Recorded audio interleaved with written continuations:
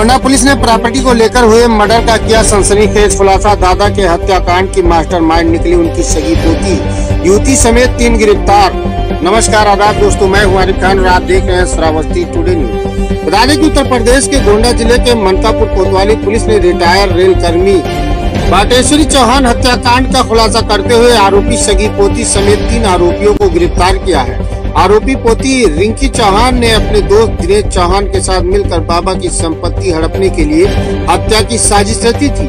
साजिश के तहत बीते उन्नीस जुलाई को आरोपी दिनेश चौहान ने सलमान अखिलेश उपाध्याय को ले जाकर के बाटेश्वरी चौहान के घर पर छोड़ दिया था।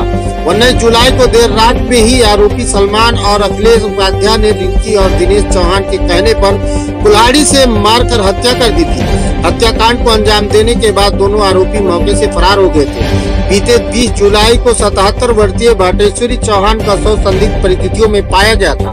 फ़िलहाल मनकापुर कोतवाली पुलिस ने आरोपी सलमान अखिलेश उपाध्याय और आरोपी पोती रिंकी चौहान को गिरफ़्तार कर जेल भेज दिया है। पुलिस का कहना है कि फरार आरोपी दिनेश चौहान की गिरफ्तारी के लिए टीमें लगा दी गई हैं। जल्द ही उसकी गिरफ्तारी कर ली जाएगी। आइए दिखाते इस मामले को लेकर पुलिस अधीक्षक गोंडा विनीत जायसवाल का क्या कहना है। बीस जुलाई को थाना मनकापुर पुलिस को सूचना प्राप्त हुई थी कि थाना क्षेत्र के भरऊ भट्टा नाम के एक गाँव में एक अठहत्तर वर्षीय बुज़ुर्ग की किसी द्वारा हत्या कर दी गई है।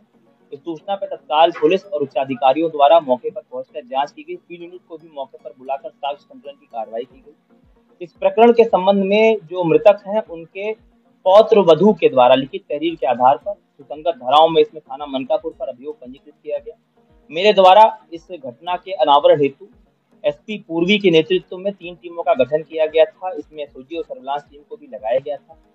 आज इस घटना का सफल अनावरण करते हुए थाना मनकापुर पुलिस द्वारा इसमें तीन शातिर हत्याभियुक्तों को पुलिस द्वारा गिरफ़्तार किया गया है, जिन्हें आज जेल भेजा जा रहा है। इस घटना के संबंध में जब इनसे विस्तृत पूछताछ की गई तो जो इसमें आरोपी पकड़े गए हैं, इसमें मुख्य आरोपी और मास्टरमाइंड इस पूरी घटना की, जो मृतक हैं, उनकी सगी पौत्री, जिसका नाम रिंका चौहान है, वो निकल कर आई है। और पूछताछ में इसके द्वारा बताया गया कि इस घटना में इसने दो अभियुक्तों, सलमान और अखिलेश उपाध्याय, इन दोनों का साथ लिया, जिनके द्वारा घटना कारित की गई। और एक अन्य सहयोगी, दिनेश, है जिसने इनका साथ दिया। तो इस प्रकार कुल चार अभियुक्त इसमें शामिल रहे। तीन अभियुक्तों को पुलिस द्वारा गिरफ़्तार कर लिया गया है। एक अभियुक्त की गिरफ्तारी शेष है। जल्दी ही उसको भी गिरफ़्तार कर लेंगे। पूछताछ में जो मुख्य अभियुक्त है, रिंका चौहान, उसके द्वारा बताया गया। कि इसके दादा की आ, काफ़ी संपत्ति है कई बीघे जमीनें हैं और रिंका चौहान के चार भाई और एक और बहन है।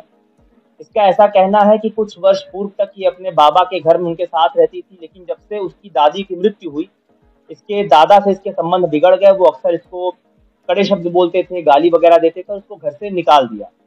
और धीरे धीरे करके अपनी संपत्ति का कुछ हिस्सा अपने एक पोते के वाइफ के नाम इन्होंने कर दिया था।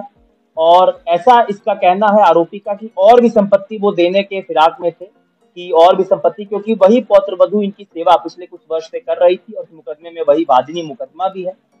तो इसे ऐसा अंदेशा था कि धीरे धीरे और भी संपत्ति वो अगर ज़िंदा रहे तो सभी संपत्ति जो है एक पुत्र वधु, पौत्र वधु के, सरस्वती के नाम ये कर देंगे। तो इनको रास्ते से हटाना है। इसने पूरी योजनाबद्ध तरीके से इसकी प्लानिंग की। सलमान और अखिलेश को इसने कुछ रुपयों का लालच देख के इसके लिए तैयार किया कि तुम्हें ये घटना करनी है। ये बहुत गरीब, मजदूर किस्म के व्यक्ति हैं। और योजनाबद्ध तरीके से 19 जुलाई की रात को इन्होंने इस घटना को क्रियान्वित करने का समय चुना। और खुद 18 तारीख को रिंका चौहान, जो मास्टरमाइंड है, फ़्लाइट का टिकट बुक कराकर पुणे चली गई।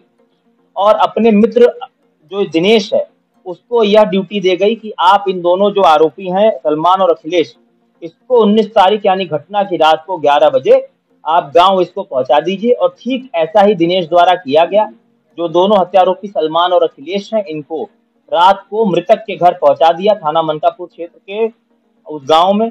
और इनके द्वारा जो दोनों आरोपी हैं, पहले गला दबाकर मृतक को मारने का प्रयास किया गया, लेकिन जब इनको पूरी आश्वासन नहीं हुआ कि उसकी मृत्यु हुई है तो पास में ही पड़े कुल्हाड़ी से इन्होंने उसके गर्दन और पीठ पे कई बार किए, और फिर उसको मरा हुआ समझ के वहाँ से मौके से ये फरार हो गए। इस प्रकार पूरी घटना का अनावरण करते हुए पूरी षड्यंत्र का खुलासा किया गया है। इसमें तीन अभियुक्त गिरफ़्तार किए गए हैं।